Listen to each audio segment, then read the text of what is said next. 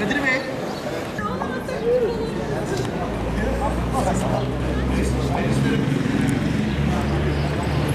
Bekten başlıyor.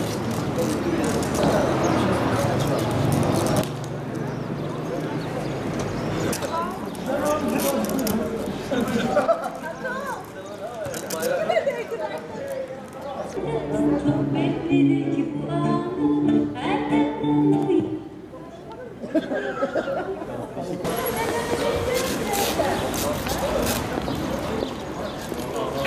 Deniz Hanım.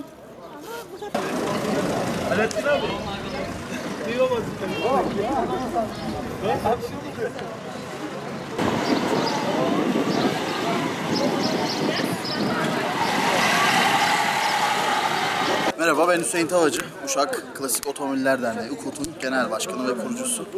Ee, Bugün e, 23 Nisan ve bunun dolayısıyla günümüzün şartlarından çocukların dışarıya çıkmaları hem sağlık açısından hem de güvenlik açısından uygun olmadığı için biz onları ziyaret etmek istedik. Bu renkli güzel arabalarla onları evlerinde ziyaret edeceğiz, hediyelerini vereceğiz. Sırf onlar evde kalsın, evde mutlu olsunlar diye biz tek tek yanlarına gidip onlarla görüşmek üzere. Merhabalar, ben Deniz Demirel Uşak'tan. Ee, evlerinden çıkamayan çocuklara biz bir umut olalım, bir sevinç olalım diye böyle bir etkinlik düzenledik. Birazdan onlara bayrak e, ve balon dağıtacağız. İnşallah onlar da mutlu olurlar. Çünkü biz çok mutluyuz. Şimdi tek tek bu arabalar mahallelere gidecek. O mahallelerdeki çocuklara bayrak ve balon dağıtacak. Emre, kapıyı aç.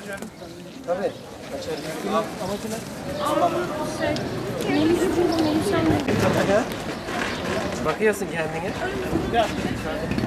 Atakan benim oturacak yerim var mı? Tabii ki. Ay pardon siz görüntü alıyorsunuz. Tamam.